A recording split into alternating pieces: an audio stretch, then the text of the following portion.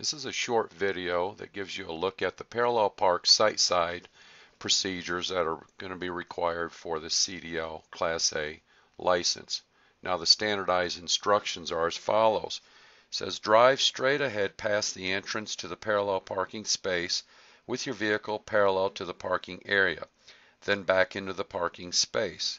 You are allowed two free pull-ups and may exit the vehicle a maximum of two times to check behind the vehicle during this exercise. Your vehicle must be completely within the space when completed.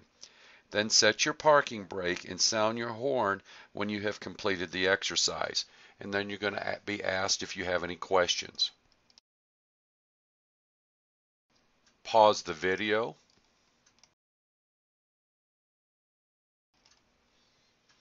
Here the exercise begins. The truck drives straight ahead and remains parallel to the parking space until the back of the trailer clears the last row of cones. Very similar to the parallel park conventional.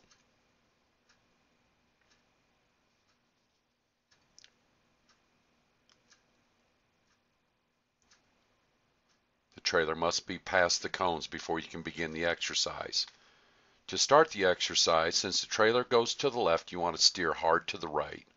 Once again, you're looking in the driver's side mirror, and you're lining up both drive axles to the midpoint of the landing gear structure. Kind of gives you a reference point of how many degrees you want to articulate the vehicle. Once you hit that spot, counter steer completely in the opposite direction all the way back to the left and then just put the tractor back straight in front of the trailer.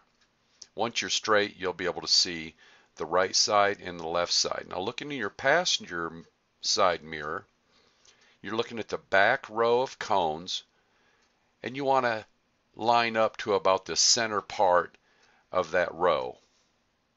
You're going to back up until the back trailer axle on the passenger side rest on top of the boundary line. Once you feel like you're sitting in that position, get out, shut the door behind you, and look back there to see if the passenger side is on that line. You don't want to go in too deep. You also want to make sure both drive axles are past the forward portion of the parking space. Now you'll get back in the vehicle, continue to back,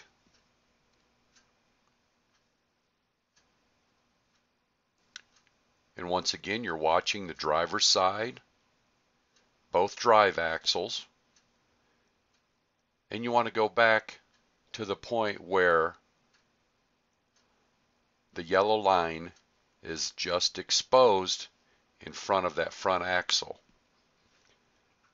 Now you're going to counter steer all the way back to the right and now put the front of the vehicle inside the parking space. I wasn't happy with the amount of distance that the drive axles went into the parking space, so I simply pulled out, steered to the right, then I'm going to steer back to the left, and, and then move both drive axles into the space a little bit farther, closer to the cones, and then counter steer all the way back to the right, and finish by putting the front of the vehicle in the parking space. Once I'm lined up and straight, I'm going to stop. Straighten the wheels out and then get out and look.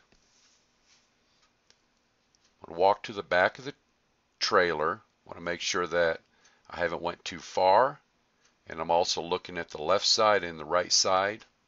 I'm just checking all four sides of the vehicle to make sure that it's completely in the space. That's what's required for this exercise. Now at the back of the trailer, I'm satisfied that I didn't go back too far and the position is perfect for this exercise.